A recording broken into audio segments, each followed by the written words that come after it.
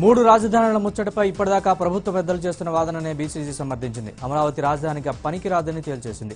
దీనికి తమ పరిశీలన అధ్యయనంతో పాటు నిపుణులు కూడా ఇదే చెప్పారంటూ పలు కారణాలు చూపింది.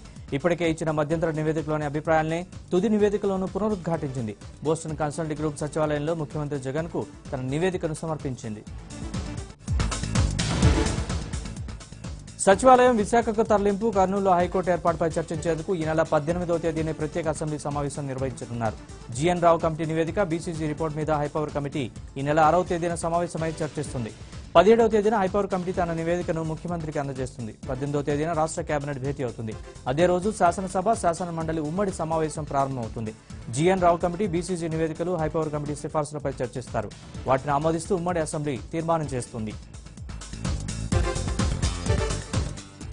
రాజధాని రైతుల ఆందోళనలో మహిళలపై పోలీసులు వ్యవహరించిన తీరు కలకలం రేపుతోంది. బస్సుల కిందకు తోసేసి అసభ్యకరంగా తిడుతూ పోలీసులు కర్కశంగా వ్యవహరించడంతో పలువురికి గాయాలయ్యాయి. ఈ ఘటనపై టీడీపీ ఢిల్లీలో మానవ హక్కుల సంఘానికి కూడా ఫిర్యాదు చేసింది. మహిళలపై అరాచకానికి పాల్పడిన పోలీసుల వైఖరికి నిరసనగా ఇవాళ రాజధాని బంద్కు రైతులు పిలుపునిచ్చారు. మహిళలపై దాడులు చేసింది కాక వారిపై కేసులు నమోదు చేయడం మరింత వివాదానికి దారితీస్తోంది. అమరావతిలో మహిళా రైతులపై పోలీసులు కేసులు నమోదు చేశారు. మందడంలో పోలీసుల విధులకు ఆటంకం కలిగించారని పలువురిపై కేసులు నమోదు చేశారు. వీరిపై సెక్షన్ నూట నలభై మూడు నూట ఎనభై ఎనిమిది మూడు వందల యాభై నాలుగు కింద పోలీసులు కేసులు నమోదు చేశారు. అమరావతిలో మహిళలపై పోలీసుల దాడి వ్యవహారాన్ని జాతీయ మహిళా కమిషన్ దృష్టికి టీడీపీ పలువురు మహిళలు తీసుకెళ్ళారు. దాడిపై టీడీపీ ఎంపీ కనకమెళ్ళ రవీంద్ర కుమార్ మహిళా కమిషన్కు లిఖితపూర్వకంగా ఫిర్యాదు చేశారు. మహిళలపై పోలీసులు వ్యవహరించిన తీరుపై టీడీపీ నేత నారా లోకేష్ తీవ్ర స్థాయిలో ఆగ్రహం వ్యక్తం చేశారు. శాంతియుతంగా ఉద్యమం చేస్తున్న మహిళలపై ప్రతాపం చూపించడం దారుణమని విమర్శించారు. ఇచ్చిన మాటపై నిలబడండి మడమ తిప్పకండి అని అక్కా చెల్లెలు అడగడం తప్ప అని ప్రశ్నించారు. లాఠీలతో ఉద్యమాన్ని అణచివేయాలనుకున్న నియంతలు ఎక్కడున్నారో ప్రత్యేకంగా చెప్పాల్సిన అవసరం లేదన్న లోకేష్ అమరావతిలో పోలీసుల పోలీసులు మహిళల గొంతు నొక్కి ఈడ్చుకెళ్ళే ఘటన జగన్ నిరంకుశత్వ పాలనకు నిదర్శనమంటూ ట్వీట్ చేశారు. రాజధానిలో ఇన్సైడర్ ట్రేడింగ్ జరిగిందని అసత్యాలు ప్రచారాలు చేస్తూ రాష్ట్ర ప్రజల్ని పక్కదారి పట్టిస్తున్నారని అమరావతి పరిరక్షణ సమితి రాజకీయ జేఏసీ నేతలు అన్నారు. మూడు రాజధానులంటూ ప్రాంతాల మధ్య చిచ్చు పెడుతున్నారని ఆరోపించారు. గతంలో అమరావతి రాజధానిని అంగీకరించినప్పుడు ఇప్పుడు మూడు రాజధానులని ఎందుకు మాట్లాడుతున్నారని ప్రశ్నించారు. జనాన్ని మోసం చేస్తే వైసీపీని క్షమించారని చెప్పారు. మూడు రాజధానుల ఏర్పాటు విషయంలో ప్రతిపక్ష నాయకుడు చంద్రబాబు నాయుడు అనవసర రాద్ధాంతం చేస్తున్నారని ప్రభుత్వ విప్ కాపు రామచంద్రారెడ్డి మండిపడ్డారు. ఎగ్జిక్యూటివ్ లెజిస్లేటివ్ జ్యుడిషియల్ మూడు ప్రాంతాల్లో ఏర్పాటు చేసేందుకు అందరూ అంగీకరిస్తున్నారని అన్నారు. మూడు ప్రాంతాలకు సమాన ప్రాధాన్యత ఇచ్చి అభివృద్ధి చేయాలని జగన్ భావిస్తున్నట్లు చెప్పారు. నిజమైన రైతులకు అన్యాయం జరగదని ఆయన అన్నారు. కువైట్లో అమరావతి పరిరక్షణ సమితి ఏర్పాటైంది. రైతులకు వారు మద్దతు తెలిపారు. తెలుగు జాతి వైభవం కోసం ప్రాణాధారమైన భూముల్ని త్యాగం చేసిన రైతులకు నైతిక మద్దతు తెలియజేయాల్సిన సమయం ఆసన్నమైందని పరిరక్షణ సమితి నేతలు అన్నారు. జన్మభూమి రుణం కొంత తీర్చుకోవడానికి తరలుదామని పిలుపునిచ్చారు. అమరావతి రైతులకు సంఘీభావం తెలిపారు. అమరావతిలో రాజధాని కొనసాగించాలని డిమాండ్ చేస్తూ అనంతపురం సప్తగిరి బల్లాలో అఖిలపక్షం రౌండ్ టేబుల్ సమావేశం నిర్వహించారు. రాష్ట్రాన్ని భ్రష్టు పట్టించేందుకు సీఎం జగన్ కంకణ కట్టుకున్నారని పలువురు పార్టీ నేతలు ఆగ్రహం వ్యక్తం చేశారు. అమరావతి రాజధాని కోసం చంద్రబాబు అహర్నిశలు పాటుపడ్డారని జగన్ తన స్వార్థ రాజకీయాల కోసం రాష్ట్రాన్ని అధోగతి పాల్చేయడం సరికాదని అన్నారు. అక్రమాస్తుల కేసులో సీఎం జగన్కి సీబీఐ ప్రత్యేక కోర్టులో చుక్కెదురైంది. ఈ కేసును తదుపరి విచారించనున్న న్యాయస్థానం ఈ నెల పదిన వ్యక్తిగతంగా హాజరు కావాల్సిందేనని సీబీఐ ప్రత్యేక కోర్టు ఆదేశించింది. ఇదే కేసులో రెండో నిందితుడిగా ఉన్న వైసీపీ ఎంపీ విజయసాయిరెడ్డి కూడా హాజరు కావాలని స్పష్టం చేసింది. ఈ మేరకు న్యాయమూర్తి ఉత్తర్వులు జారీ చేశారు. జగన్ విజయసాయి వ్యక్తిగత హాజరుకు మినహాయింపు ఇవ్వాలని కోరుతూ పిటిషన్ దాఖలైంది. దీనిపై న్యాయమూర్తి అసహనం వ్యక్తం చేశారు. గతేడాది మార్చి ఒకటిన చివరిసారిగా జగన్ కోర్టుకు హాజరయ్యారని అప్పటి నుంచి ఏదో కారణం చెబుతూ మినహాయింపు కోరుతున్నారని ఆగ్రహం వ్యక్తం చేశారు. సాధారణ భక్తుల కోసం తిరుమలలో వైకుంఠ ఏకాదశి ఉత్తర ద్వార దర్శనాన్ని పది రోజుల పాటు కొనసాగించాలని టీటీడీకి హైకోర్టు సూచించింది. ఉత్తర ద్వార దర్శనం పది రోజుల పాటు సాగించాలని కోరుతూ ఓ పిటిషనర్ దాఖలు చేసిన పిటిషన్పై న్యాయస్థానం విచారణ జరిపింది. బోర్డు మీటింగ్ ఏర్పాటు చేసుకుని ఈ నెల ఆరులోపు నిర్ణయం తీసుకుంటామని అధికారులు తెలిపారు. కొనసాగింపై నిర్ణయం తీసుకుంటామన్నారు. స్థానిక ఎన్నికలకు సంబంధించిన రిజర్వేషన్ల ఖరారులో జాప్యంపై ఏపీ హైకోర్టు అసంతృప్తి వ్యక్తం చేసింది. పంచాయతీల గడువు ముగిసి ఒకటిన్నర ఏడాదవుతున్న రిజర్వేషన్ల ఖరారుపై ఆలస్యం చేయడం ఏంటని ఆగ్రహం వ్యక్తం చేసింది. ఈ నెల ఏడున మధ్యాహ్నం రెండు గంటలలోపు రిజర్వేషన్లు ఖరారు చేసి ఆ వివరాలు రాష్ట్ర ఎన్నికల కమిషన్కు సమర్పించాలని ప్రభుత్వాన్ని ఆదేశించింది. స్థానిక ఎన్నికల నిర్వహణకు సంబంధించిన షెడ్యూల్ను ఎనిమిదిన తమ ముందుంచాలని ఈసీని ఆదేశించింది. విశాఖలో భూ రికార్డుల ట్యాంపరింగ్ పై రెండోసారి నియమించిన సిట్ తన మధ్యంతర నివేదికను జనవరి పదకొండు నాటికి సమర్పించనుంది. తుది నివేదిక సమర్పణ తేదీని ఇప్పుడే చెప్పలేమని సిట్ బృందం తెలిపింది. కేసు తీవ్రతను బట్టి క్రిమినల్ ప్రాసిక్యూషన్కు తాము రికమెండ్ చేసే అవకాశం ఉందని అయితే చర్యలు తీసుకోవాల్సిన అధికారం మాత్రం ప్రభుత్వానిదేనని చెప్పింది. ప్రాపర్టీ ట్యాక్స్ అసెస్మెంట్ పై క్షుణ్ణంగా పరిశీలన చేస్తున్నట్లు చెప్పారు. రాష్ట్ర ప్రభుత్వానికి ఆదాయం తీసుకొస్తున్న మీ సేవను నిర్వీర్యం చేయాలన్న ఆలోచన మంచిది కాదన్నారు బీజేపీ నేత బైరెడ్డి రాజశేఖర రెడ్డి. మీ సేవ మీద ఆధారపడే వాళ్ళంతా రోడ్డున పడతారని ఆవేదన వ్యక్తం చేశారు. జగన్ పిల్ల చేష్టల వల్ల రాష్ట్రం అప్పుల ఊబిలో చిక్కుకుందన్నారు. ఆంధ్రా బ్యాంక్ ప్రభుత్వానికి అప్పిస్తే ఆ డబ్బు తిరిగి రాదన్నారు. కృష్ణా జిల్లా మైలవరంలో టీడీపీ నాయకులపై వైసీపీ నేతలు దాడికి దిగారు. మైలవరం టీడీపీ కార్యదర్శి బాలకృష్ణ మాజీ ఉప సర్పంచ్ భర్త షేక్ షుబాని కరీం దాదాలపై పట్టణ ప్రధాన సెంటర్లో పది మంది వైసీపీ నాయకులు దాడి చేశారు. స్థానికులు అడ్డుకోవడంతో వాళ్ళు అక్కడి నుంచి వెళ్ళిపోయారు కేసు నమోదు చేసిన పోలీసులు దర్యాప్తు చేస్తున్నారు. తెలంగాణ భవన్లో సీఎం కేసీఆర్ అధ్యక్షతన విస్తృత స్థాయి సమావేశం జరగనుంది. సమావేశానికి ఎంపీలు ఎమ్మెల్యేలు జిల్లా పరిషత్ చైర్మన్లు కార్పొరేషన్ చైర్మన్లు పార్టీ రాష్ట్ర కార్యవర్గ సభ్యుల్ని ఆహ్వానించారు. ఉదయం పదకొండున్నరకు ప్రారంభం కానున్న సమావేశం సాయంత్రం నాలుగు గంటల వరకు కొనసాగనుంది. మున్సిపల్ ఎన్నికలపై పార్టీ నేతలకు కేసీఆర్ దిశానిర్దేశం చేయనున్నారు. సిద్దిపేట జిల్లా దుబ్బాక మండలం పెద్ద చీకోడు గ్రామంలో రెండో విడత పల్లె ప్రగతి కార్యక్రమంలో మంత్రి హరీష్ రావు పాల్గొన్నారు. గ్రామాన్ని దత్త తీసుకుని అన్ని రంగాల్లో అభివృద్ధి చేసేందుకు కృషి చేస్తానని మంత్రి హరీష్ తెలిపారు. గోదావరి నీటితో చెరువులు కుంటలు నింపి రెండు పంటలు పండించే విధంగా చూస్తామని చెప్పారు. రేపు జరగబోయే మున్సిపల్ ఎన్నికల్లో దుబ్బాకలో బీజేపీ కాంగ్రెస్ ఒక్కడి కూడా గెలవవని అన్నారు. రాబోయే ఎన్నికల్లో బీజేపీ ఖాతాలో తెలంగాణ చేరడం ఖాయమని ఆ పార్టీ జాతీయ కార్యదర్శి సునీల్ దేవధర్ అన్నారు. తెలంగాణ రాష్ట్రం అవినీతిలో నంబర్ వన్గా ఉందని ఆరోపించారు. బంగారు తెలంగాణ కోసం బీజేపీతో కలిసి రావాలని కోరారు. పౌరసత్వ సవరణ చట్టానికి మద్దతుగా బీజేపీ ఆధ్వర్యంలో నిజామాబాద్ కలెక్టరేట్ మైదానంలో బహిరంగ సభ నిర్వహించారు. దీనికి సునీల్ దేవధర్ ముఖ్య అతిథిగా హాజరయ్యారు. మహబూబాబాద్ బీజేపీ పార్టీ కార్యాలయంలో పౌరసత్వ సవరణ చట్టంపై ప్రజల్లో అవగాహన కల్పించేందుకు సదస్సు నిర్వహించారు. ఈ సదస్సుకు జాతీయ కమిటీ సభ్యులు పేరాల శేఖర్రావు హాజరయ్యారు. జనవరి పదిహేను నుంచి ఇంటింటికి వెళ్ళి అవగాహన కార్యక్రమాలు చేపడతామని ముప్పై మూడు జిల్లాల్లో సదస్సులు భారీ బహిరంగ సభలు ఏర్పాటు చేస్తామన్నారు. మజ్లిస్తో దోస్తీ కట్టి టీఆర్ఎస్ కుల మత రాజకీయాలు చేస్తోందని మండిపడ్డారు. మున్సిపల్ ఎన్నికల్లో భాగంగా జవహర్ నగర్ పరిధిలో టీఆర్ఎస్ సన్నాహక సభ నిర్వహించారు. మంత్రి హరీష్ రావు ఈ కార్యక్రమానికి హాజరై ప్రజలకు సేవ చేయాలనుకునే వాళ్ళు మాత్రమే ఎన్నికల్లో పోటీ చేయాలని అన్నారు. గత పాలకుల నిర్లక్ష్యం వల్లే సమస్యలు మరింత జటిలంగా మారాయని టీఆర్ఎస్ ఓటేసి భారీ విజయం అందించాలని ఆయన కోరారు.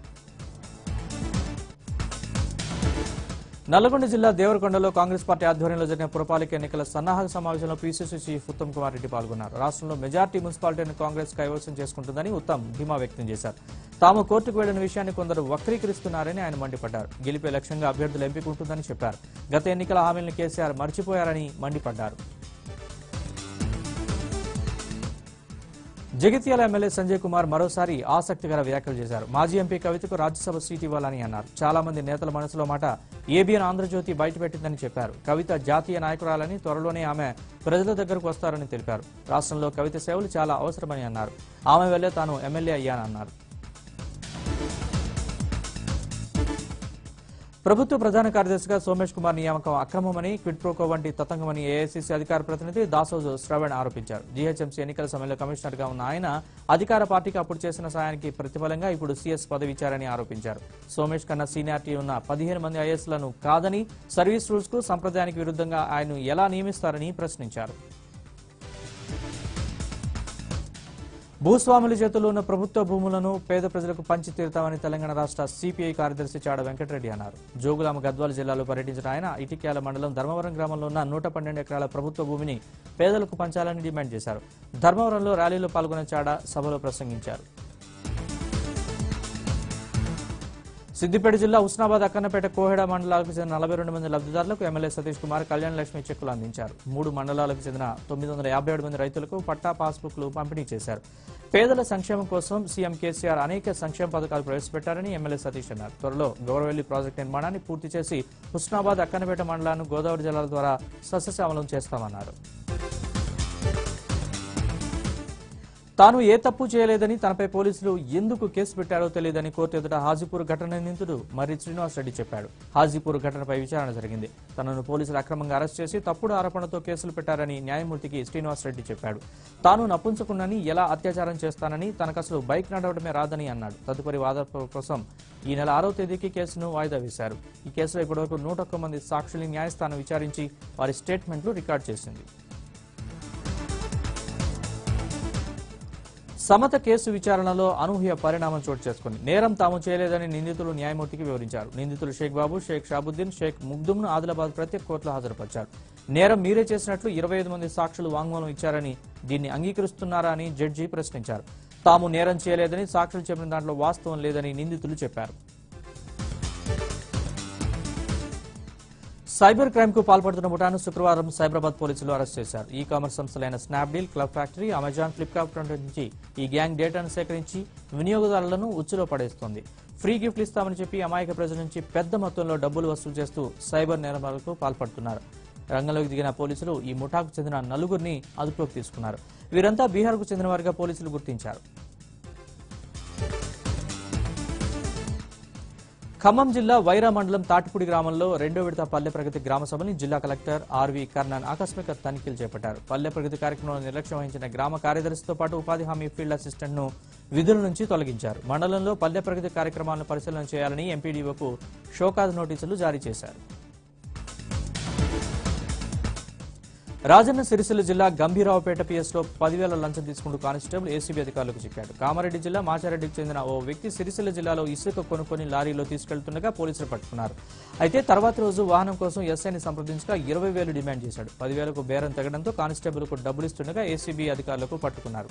ఎస్ఐ అనిల్ కుమార్ సీఐ లింగమూర్తిపై కూడా కేసు నమోదు చేసినట్లు అధికారులు తెలిపారు. శంషాబాద్ ఎయిర్పోర్ట్లో డిఆర్ఐ అధికారులు రెండు కిలోల రెండు వందల గ్రాముల బంగారాన్ని పట్టుకున్నారు. చెన్నై నుంచి హైదరాబాద్ వస్తున్న ప్రయాణికుడిని వారు ఈ గోల్డ్ స్వాధీనం చేసుకున్నారు. పట్టుకున్న బంగారం విలువ ఎనభై తొమ్మిది లక్షలకు పైనే ఉంటుందని అధికారులు తెలిపారు. నిందితుడిని అదుపులోకి తీసుకుని విచారిస్తున్నారు. జనగామ జిల్లా కేంద్రంలో ఇద్దరు చిన్నారుల మిస్సింగ్ కలకలం సృష్టించింది. గురువారం సాయంత్రం జామకాయలు తెచ్చుకోవడం కోసం వెళ్ళిన ధర్మవీర కుషి కుమారి అనే ఇద్దరు చిన్నారులు ఇంటికి తిరిగి రాకపోవడంతో తల్లిదండ్రులు ఆందోళనకు లోనయ్యారు. ఆసుకి తెలియకపోవడంతో పోలీసులకు ఫిర్యాదు చేశారు. పిల్లల ఆసుకి కోసం ఏసీపీ వినోద్ కుమార్ ఆధ్వర్యంలో ప్రత్యేక బృందాలు తీవ్రంగా గాలిస్తున్నాయి. కామారెడ్డి జిల్లా బాన్సువాడలో ఆకతాయికి దేహశుద్ధి చేశారు. టైలరింగ్ నేర్చుకుంటున్న యువతిని బీర్కూరు మండలం బైరాపూర్కు చెందిన యువకుడు గత కొద్ది రోజులుగా వేధిస్తున్నాడు.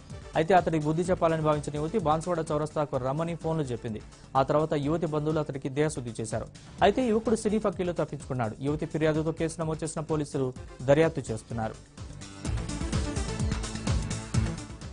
వరంగల్ రూరల్ జిల్లా పరకాల రెవెన్యూ డివిజన్ పరిధిలో జోరు వర్షం కురిసింది. దీంతో చేతికొచ్చిన పంట తడిసి ముద్దైంది. ఆరుగాలం కష్టపడి పండించిన పంట వానకు తడవడంతో రైతన్న కన్నీటి పర్యంతం అవుతున్నాడు. మాయిశ్చర్ పేరుతో కొనుగోలుదారులు చుక్కలు చూపిస్తున్నారు. ఇలాంటి సమయంలో తడిసిన ధాన్యాన్ని అమ్ముకోవడానికి ఎన్ని రోజులు ఎదురు చూడాలో అంటూ అన్నదాతలు ఆవేదన వ్యక్తం చేస్తున్నారు. కృష్ణా జిల్లా మైలవరంలో అకాల వర్షం కురిసింది. మార్కెట్ యార్డ్లో రైతులు తరలించిన ధాన్యం పత్తి వర్షానికి తడిసి ముద్దయ్యాయి. పట్టాలు అందుబాటులో లేకపోవడంతో భారీ ఎత్తున ధాన్యపు రాసులు నీళ్ళలో కొట్టుకుపోయాయి. తడుస్తున్న ధాన్యాన్ని కాపాడుకునేందుకు రైతులు నానాపాట్లు పడ్డారు. ఆరుగాలం కష్టించి పండించిన పంట వర్షానికి గురై తడిచిపోవడంతో రైతులు ఆవేదనకు గురవుతున్నారు. చిన్నప్పుడు దూరమై పద్దెనిమిదేళ్ళ తర్వాత భర్త చొరవతో మహిళా తల్లిదండ్రుల్ని కలుసుకుంది. పశ్చిమ గోదావరి జిల్లా నల్లజాల మండలం అనంతపల్లిలో ఈ ఘటన జరిగింది. రెండు వేల రెండులో భీమడోల్లో తప్పిపోయిన ప్రసన్నను ఓ వ్యక్తి అనాథాశ్రమంలో చేర్చాడు. ఇంటర్ వరకు అక్కడే చదువుకున్న ఆమె ఆ తర్వాత హైదరాబాద్ వెళ్ళి నరేంద్ర అనే వ్యక్తిని పెళ్ళి చేసుకుంది. ఆమె పుట్టు పూర్వోత్తరాల గురించి ఆరా తీసిన నరేంద్ర ప్రసన్నను తల్లిదండ్రుల దగ్గరకు చేర్చాడు. కర్నూలు జిల్లా నందికొట్కూరు సిఎస్ఐ పాలెంలో పందులు స్వైర వ్యవహారం చేస్తున్నాయి. మూడేళ్ళ చిన్నారి నందినిపై పంది దాడి చేయగా తీవ్ర గాయాలయ్యాయి. కాలనీలో పందులు సంచరిస్తున్నాయని మున్సిపల్ అధికారుల దృష్టికి తీసుకెళ్ళినా పట్టించుకోలేదని చిన్నారి తల్లిదండ్రులు ఆగ్రహం వ్యక్తం చేస్తున్నారు. మున్సిపల్ ఆఫీస్ ముందు ఆందోళన దిగారు. ఆ తర్వాత అధికారులపై పోలీసులకు ఫిర్యాదు చేశారు. రాజ్యాంగాన్ని రక్షిద్దాం దేశాన్ని కాపాడదామంటూ మచిలీపట్నం ముస్లిం ఐక్య కార్యాచరణ కమిటీ ఆధ్వర్యంలో రాజుపేట కొత్త మసీదు నుంచి కోనేరు సెంటర్ వరకు ముస్లిం మహిళలు మౌన ప్రదర్శన ర్యాలీ నిర్వహించారు. ఎన్ఆర్సీ సీఏఏ ఎన్పీఆర్కు వ్యతిరేకంగా నినాదాలు చేశారు. రాజ్యాంగాన్ని మోదీ సర్కారు ఖూని చేస్తోందని మహిళలు ఆరోపించారు. నెల్లూరులో వైసీపీ ముస్లిం నేతల ఆధ్వర్యంలో సీఏఏ ఎన్ఆర్సీ ఎన్పీఆర్కు వ్యతిరేకంగా భారీ ర్యాలీ నిర్వహించారు. బారాషహీద్ దర్గా నుంచి గాంధీ బొమ్మ వరకు ప్రదర్శన కొనసాగింది.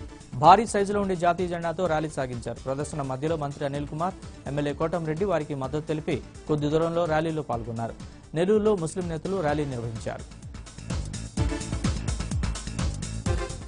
పౌరసత్వ సవరణ చట్టంపై ఒక్క అంగుళం కూడా వెనక్కి తగ్గేది లేదని అదే సమయంలో జాతీయ పౌర రిజిస్టర్ను పూర్తిగా పక్కనేమీ పెట్టలేదని అమిత్ షా అన్నారు.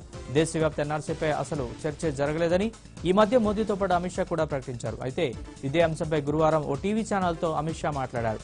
ఎన్ఆర్సీపై ఇప్పటిదాకా చర్చ జరగలేదన్నది నిజమన్నారు. అయితే దాన్ని కోల్డ్ స్టోరేజ్లో పెట్టినట్లేనా అని ప్రశ్నించగా అలా ఎప్పుడు చెప్పానన్నారు. ఐనెక్స్ మీడియా కేసులో తీహార్ జైలు నుంచి బెయిల్పై విడుదలైన నెల రోజులపై కేంద్ర మాజీ మంత్రి చిదంబరాన్ని ఈడీ మరోసారి ప్రశ్నించింది. ఫ్రాన్స్కు చెందిన ఎయిర్బస్ సంస్థ నుంచి ఎయిర్ ఇండియా విమానాల కొనుగోలు కేసులో సంబంధం ఉందన్న ఆరోపణలపై దాదాపు ఆరు గంటల పాటు ఆయన విచారించింది. ఈ కేసులో గత ఆగస్టు ఇరవై మూడున విచారణకు హాజరు కావాల్సిందిగా ఈడీ సమ్మను జారీ చేసింది. అయితే ఐనెక్స్ మీడియా కేసులో సీబీఐ చిదంబరాన్ని అరెస్ట్ చేసింది. దీంతో ఆయన హాజరు కాలేకపోయారు. బెంగళూరులో ఆశా కార్యకర్తలు భారీ నిరసన చేపట్టారు. కనీస గౌరవ వేతనంతో పాటు పలు డిమాండ్లు నెరవేర్చాలని వారు అంటున్నారు. పింక్ యూనిఫామ్తో సంగోలి రాయన స్టేషన్ నుంచి ఫ్రీడమ్ పార్క్ వరకు ర్యాలీ చేపట్టిన కార్యకర్తలు పదిహేను నెలల ప్రోత్సాహాన్ని వెంటనే విడుదల చేయాలని డిమాండ్ చేశారు. భారీ ర్యాలీతో ఫ్రీడమ్ పార్క్ ప్రాంతం గులాబీమయంగా మారింది. కేరళలోని వాయనాడులో ఊళ్ళోకి వచ్చిన ఓ పులి బావిలో పడిపోయింది. ఇది గమనించిన స్థానికులు అటవీ శాఖ అధికారులకు సమాచారం అందించారు. రంగంలోకి దిగిన అధికారులు తాళ్ళు వలసాయంతో పులిని బయటకు తీసి జూకు తరలించారు. పులి బావిలో పడిందన్న సమాచారం అందడంతో చుట్టుపక్కల గ్రామాల ప్రజలకు అక్కడ భారీగా చేరుకున్నారు.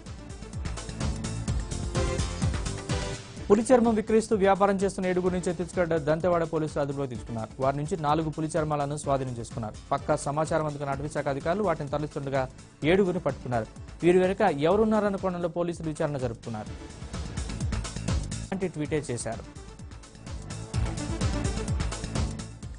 అమెరికా ఇరాన్ మధ్య ఉద్రిక్త పరిస్థితుల నేపథ్యంలో అంతర్జాతీయ కమోడిటీ మార్కెట్లో బంగారం వెండి వంటి విలువైన లోహాల ధరలు వేడెక్కాయి. ఓ దశలో ఔన్స్ బంగారం ఒక వెయ్యి ఐదు వందల నలభై డాలర్ల స్థాయిని తాకింది. వెండి పద్దెనిమిది డాలర్ల ఎగువన ట్రేడ్ అవుతోంది. ఈ ధరలకు అనుగుణంగా దేశీయంగాన ధరలు భగ్గుమన్నాయి. ముంబై బులియన్ మార్కెట్లో తొంభై తొమ్మిది పాయింట్ తొమ్మిది శాతం స్వచ్ఛత బంగారం పది గ్రాముల ధర నలభై ఒక్క వేలకు పైగా పలికింది. హైదరాబాద్లో బంగారం ధర ముప్పై తొమ్మిది వేల రెండు వందల నలభై రూపాయలుగా ఉంది. అటు చమురు ధరలు కూడా భగ్గుమంటున్నాయి. తెలంగాణ రెసిడెన్షియల్ ఎడ్యుకేషనల్ ఇన్స్టిట్యూట్ ఆధ్వర్యంలో fifth inter society league sports meet హైదరాబాద్లో ఘనంగా ప్రారంభమైంది. ఈ కార్యక్రమానికి టెన్నిస్ క్రీడాకారిణి Sania Mirza retired IPS AK Khan Telangana social welfare residential education institute society society secretary Praveen Kumar ముఖ్య అతిథులుగా హాజరయ్యారు. నాలుగు రోజుల పాటు జరగనున్న ఈ క్రీడోత్సవంలో తెలంగాణ వ్యాప్తంగా ఉన్న ఏడు రెసిడెన్షియల్ ఎడ్యుకేషన్ ఇన్స్టిట్యూట్స్కి చెందిన ఐదు వేల మంది విద్యార్థులు పోటీ పడుతున్నారు. తత్కాల్ పాస్పోర్ట్కు దరఖాస్తు చేసుకునేటప్పుడు ఇకపై ఆధార్ తప్పనిసరి కాదు. ఈ మేరకు కేంద్ర ప్రభుత్వం ఉత్తర్వులు సవరించింది ఇంతకు ముందు తత్కాల్ పాస్పోర్ట్ కోసం ఆధార్ తప్పనిసరిగా ఉండేది. చరిత్రపై సెల్ఫ్ డిక్లరేషన్ విడిగా ఇవ్వాలన్న నిబంధన కూడా ఎత్తివేసినట్లు అధికారులు తెలిపారు. ఏవైనా కేసులుంటే మాత్రం దరఖాస్తులో వాటి వివరాలు పొందుపరచాలన్నారు